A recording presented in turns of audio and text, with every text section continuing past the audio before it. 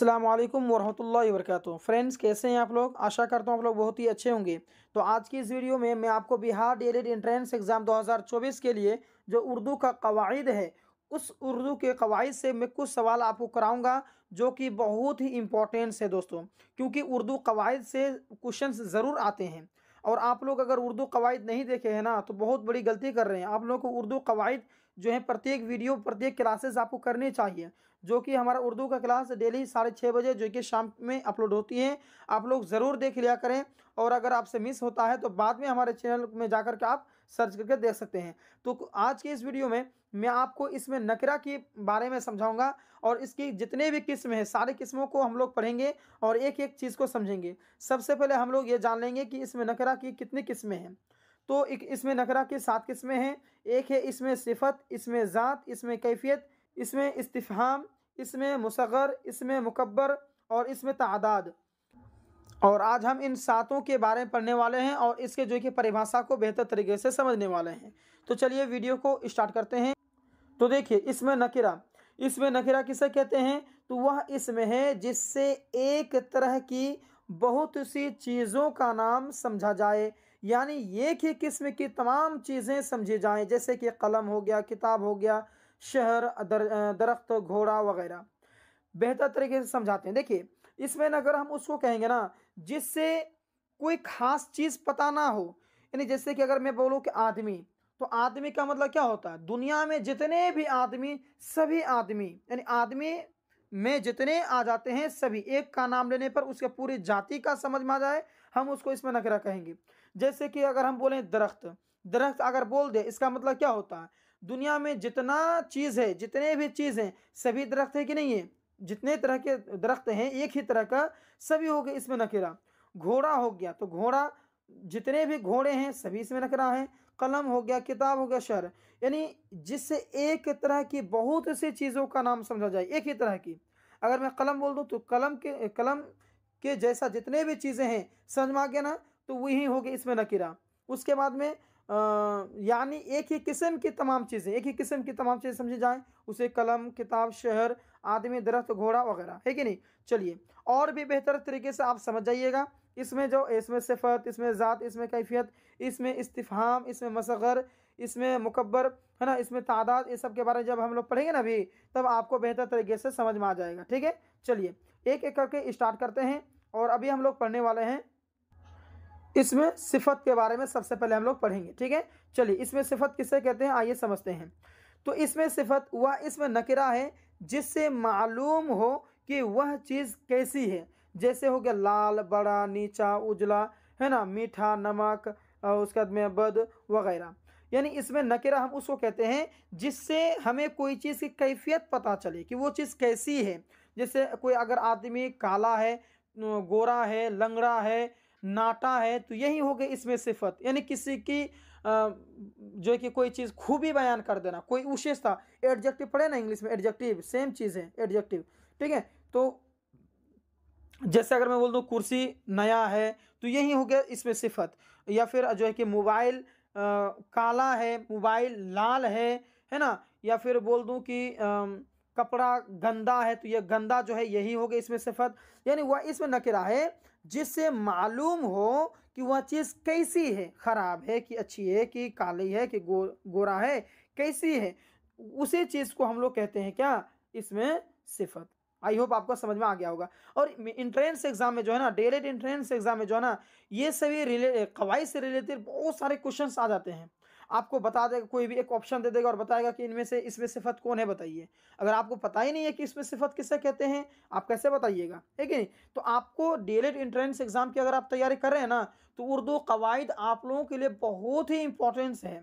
आपको याद करना ही होगा, आपको समझना ही होगा।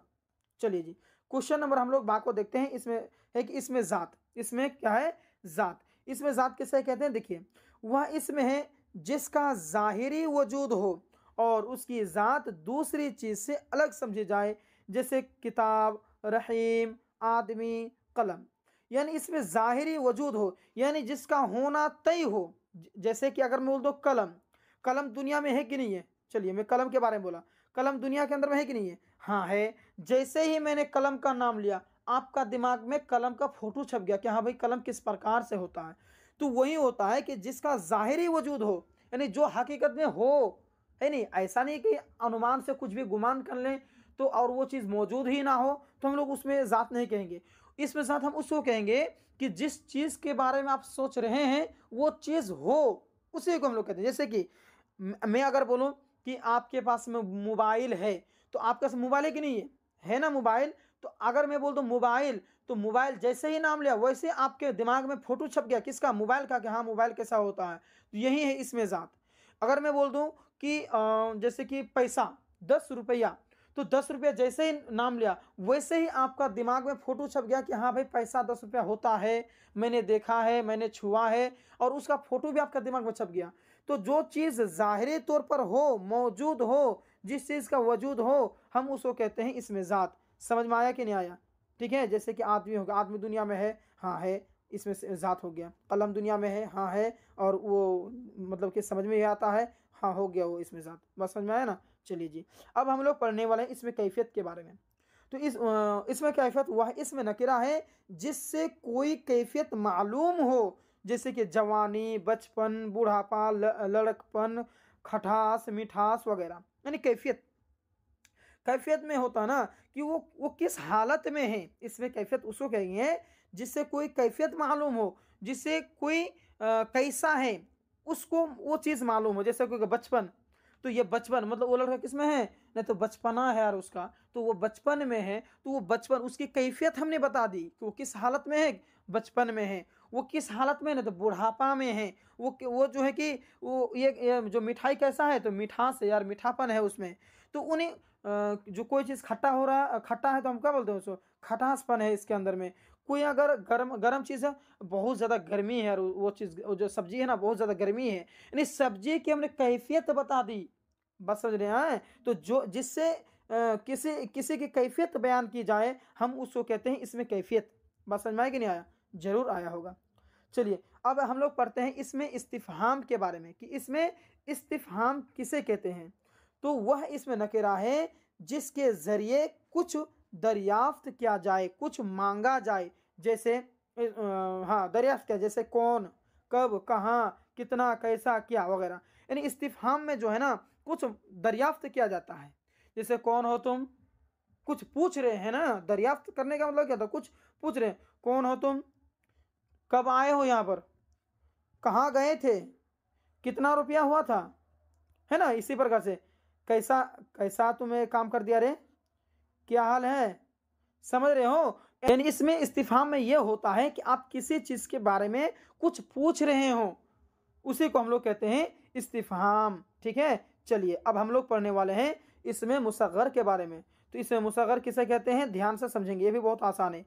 वह इसमें नकिरा है, जिससे किसी इसम की छोटाई मालूम हो। जिससे किसी इसम की छोटाई मालूम हो। जिससे मैं अगर बोल लो बेटा बेटा क्या होता है? बाप से छोटा किस बड़ा होता है? छोटा होता है ना? बस हो गया। है कि नहीं? तो इसमें मुसगर हम उसको कहते हैं, जिससे कोई चीज़ छोटापन मालूम हो। उसी को हम लोग कहते हैं इसे मुसगर इसमें मुकबर किसे कहते हैं? जस इसका उल्टा। यानी वह इसमें है जिससे किसी इसम की बड़ाई ज़ाहिर हो। जैसे शाहिरा वगैरह यानी इससे जो है ना किसी बड़ाई बड़ाई ज़ाहिर हो, जिससे किसी जो कि कोई चीज़ के बारे में बड़ाई बयान करना हो, बड़ाई दिखाना हो तो हम लोग उसको इसमें मुसगर कहते हैं।